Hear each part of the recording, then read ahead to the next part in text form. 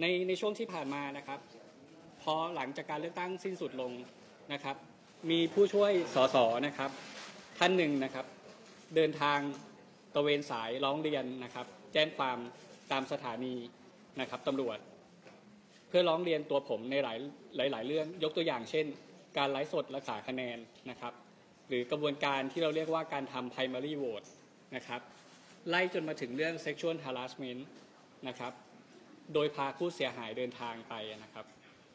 ผมเล่าย้อนกลับไปประเด็นตรงนี้มันเป็นจุดเริ่มต้นครับ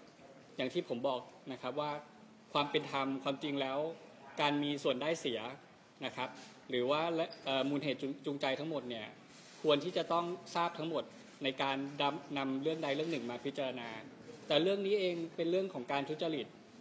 ในภาพลักษณ์ของรัฐสภาครับ หรือแม้กระทั่งแม้กระทั่งผู้ช่วยสสหรือแม้กระทั่ง ทีมงานภายในพักต่างๆนะครับ การทุจริตถือว่าเป็นเรื่องที่ยอมรับไม่ได้ อย่างที่ทราบดีครับว่าผมทำงานในเรื่องมลพิษในจังหวัดปราจีนบุรี ซึ่งเป็นอุตสาหกรรมนะครับ โรงงานอุตสาหกรรมเยอะมาก 300 กว่าโรงงานนะครับ เป็น EC ตอนบน ปัญหาของจังหวัดปราจีนบุรี เมื่อช่วงปีต้นปีที่ผ่านมาก็มีปัญหาเรื่องของโรงงานซีเซียมนะครับ โรงงานที่ที่มีซีเซียมหาย ยังเป็นเป้าหมายการลงทุนอุตสาหกรรมประเภท อุตสาหกรรมบ่อกำจัดขยะขนาดใหญ่นะครับ ในภาคตะวันออก แต่ประเด็นคือผมจะเดินทำงานยังไงนะครับ ถ้าทีมงานผู้ช่วยในจังหวัดมีพฤติกรรมนะครับเอื้อเพื่อรับผลประโยชน์ ภายในจังหวัด ส่วนนี้เองเลยเป็นจุดเริ่มต้นครับ ที่ทำให้ผมเดินหน้านะครับ หันกลับไปที่พักไปแจ้งที่พักนะครับ ก็คือจากข้อมูลก็คือวันที่ 24 หรือ 25 กรกฎาคมที่ผ่านมานะครับ ผมเดินทางไป ยื่นเอกสารนะครับ ถึงมือนะครับระดับกรรมการบริหารพัก หรือระดับที่เรียกว่าเป็นระดับสูงของพักนะครับ ให้เอกสารทุกอย่างพร้อมนะครับ แต่ในช่วงที่ผ่านมาแล้วนะครับ ในประเด็นคือผมไม่รู้ไม่ทราบนะครับว่า ในเรื่องที่ผมทำมันไปเหยียบเท้ากรรมการบริหารพักหรือเปล่า เราต้องการจะสะท้อนครับว่าเรื่องของการรับผลประโยชน์ไม่เคยเกิดขึ้นเออไม่ควรจะเกิดขึ้นในพักก้าวไกลเราต้องตรงไปตรงมาครับ กับเรื่องนี้ซึ่งผม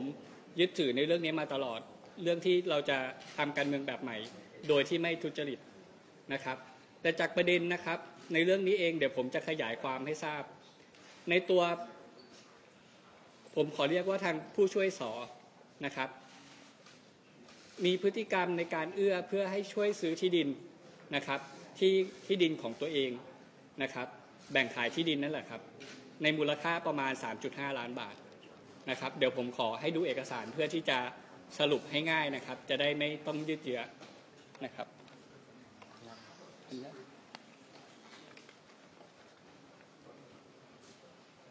ในตัวนี้เองเป็นบันทึกในลน์ครับ ในการเจรจาพูดคุยนะครับ ที่มีการขอให้ช่วยมีการแบ่งขายที่ดินนะครับ ในนี้เองผู้ที่มีความสามารถในการแบ่งขายที่ดินนะครับ ที่มีความรู้เขาก็แนะนำว่า การมอบอำนาจซื้อที่จะทำมาขอให้แก้ไขตรงราคาจาก 3 ล้าน 5 เป็น 1.7 ล้านหรือ 1 ล้าน7เพื่อให้สูงกว่าราคาประเมินนิดหน่อย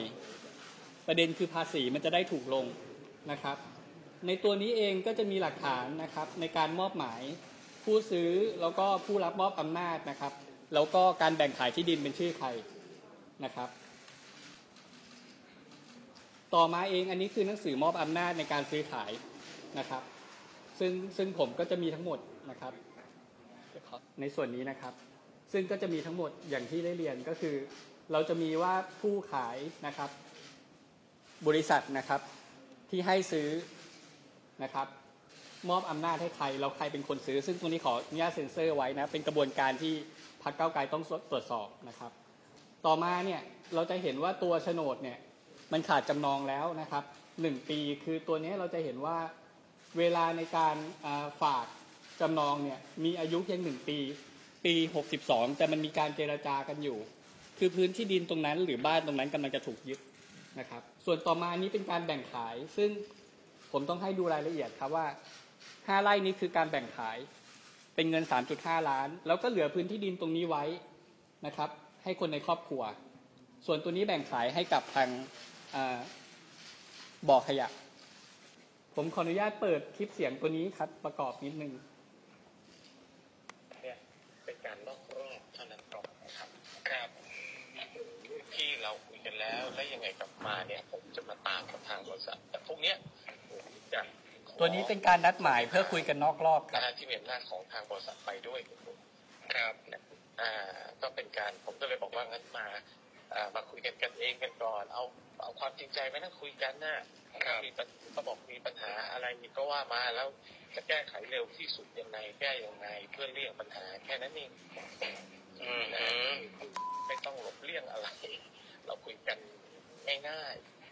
ครับจริงๆ ผมก็ยัง confirm นะว่าถ้าคุยกับผมนะครับ ผมไม่อยากคุยเป็นการส่วนตัวมันใช้เวลาคุยที่เราจะฟังตรงนี้มันสั้นครับอีกนิดนึงจะเห็นว่าจะมีการนัดหมายและยอมรับนัดหมายครับกันแต่ว่าจะใช้แกนนำที่เราเคยพูดจาเคยได้ทำงานในไตรภาคีร่วมกันเนาะๆอืมก็อย่างเงี้ยครับ ถือว่าโอเคนะครับ ผมถือว่าเป็นเรื่องที่ที่ดี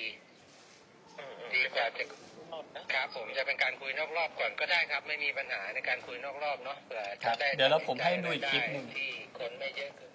อันเนี้ยครับการนัดแนะอันนี้เขาไปให้สัมภาษณ์ครับ ในเพจที่ตรงข้ามกับก้าวไกลในการโจมตีผมเรื่อง sexual harassment เด็กผู้หญิงคนเนี้ยจะได้อะไรต้องถามก่อนนะการให้สัมภาษณ์ของเขาเขาเขาให้สัมภาษณ์ว่าเขาเป็นชาวบ้าน คุณสอท่านเนี้ยนะครับเรื่องที่มันแดงขึ้นมาเนี่ยเนาะไม่ว่าเขาจะอยู่ในฐานะอะไรก็แล้วแต่ เขาเป็นผู้เสียหายเนาะมันต้องเข้ามาดูเวลาเขาทำงานจริงๆนะน้องคนเนี้ยถูกครับ ผมผมเปิดให้ให้ฟังประมาณนี้ ทำถนนเนาะถนนซึ่งซึ่งจากตรงนี้เอง มันก็ยังมีประเด็นพัวพันอีกนิดหนึ่งให้ดู ผู้เสียหายที่ร้อง sexual harassment มีความสัมพันธ์พิเศษ กับบุคคลท่านนี้หรือไม่นะครับ ต้องถามในชุมชนเขาที่เทศบาลกอกสมบูรณ์ ชาวบ้านเองก็ตั้งคำถามในชุมชนเพราะเยอะพอสมควร ซึ่งผมก็ไม่เคยตอบในเรื่องนี้นะครับ มันจะเห็นว่าประเด็นมันมันผูกพันข้ามปีมาประมาณปีครึ่งเพิ่งรู้สึกตัวนะครับ ว่าถูก sexual harassment ครับโอเค เดี๋ยวผมขออนุญาตเล่าต่อนะครับ ในประเด็นที่เกิดขึ้นนะครับ ผมเองออกจากพักก้าวไกลมาแล้วนะครับ ในกระบวนการทราบว่า ยังไม่มีการตั้งกรรมการทางวินัย เกิดขึ้นมาเลย ตั้งแต่ตอนนั้นถึงปัจจุบันนะครับ ตัวผมเองต้องเรียนครับว่าในเรื่องนี้เองเป็นประเด็นทางการเมือง ตัวผมไม่รู้ครับไม่ทราบจริง ๆ ผมแค่ต้องการจะทำงานในจังหวัดให้มันเคลียร์นะครับ ไม่ได้ทราบเลยว่าเขามีความสนิทกับใครหรือกรรมการบริหารท่านใดที่ดูแลพื้นที่ภาคตะวันออกอยู่นะครับ ผมไม่รู้ว่าผมเหยียบเท้ากรรมการบริหารแรงขนาดไหน แต่ว่าเรื่องนี้มันจะเป็นต้องเคลียร์เพราะมันเป็นเรื่องทุจริต การทุจริตครับ ไม่ว่าในหน่วยงานไหน ต่อให้เป็นผู้ช่วยนะครับ มันควรมีการสอบสวนตรวจสอบอย่างเร่งด่วน แต่ทิ้งถึงช่วงเวลานี้ผ่านมาในระยะเวลาประมาณ 4 เดือนแล้ว ไม่สามารถที่จะรอให้เป็นกระแสนะครับแล้วค่อยมาทำแล้วก็กำลังจะบอกว่าเรากำลังจะตั้งกรรมการวินัย เราไม่ได้ละเลยกับเรื่องของทุจริต ไม่ควรตอบแบบนั้น แล้วอีกเรื่องหนึ่งที่ผมอยากจะบอกสื่อมวลชนครับว่า เริ่มเห็นการปฏิเสธว่าผู้ช่วยท่านนี้ไม่ใช่ผู้ช่วยนะครับ ภาพหลักฐานผมไม่ได้ให้ดูนะครับว่ามีความสนิทสนมกับทางกรรมการบริหารท่านนั้นจริง เคยทำงานร่วมกันมาตั้งแต่อนาคตใหม่นะครับ บัตรผู้ช่วยดูที่ห้องทะเบียนได้นะครับ ผมไม่อยากให้ให้ออกมาปฏิเสธแบบนั้น ในกรณีที่ผมออกมาแถลงวันนี้มันเป็นเรื่องของอสิ่งที่ผม เจอแล้วผมพูดไม่ได้อีก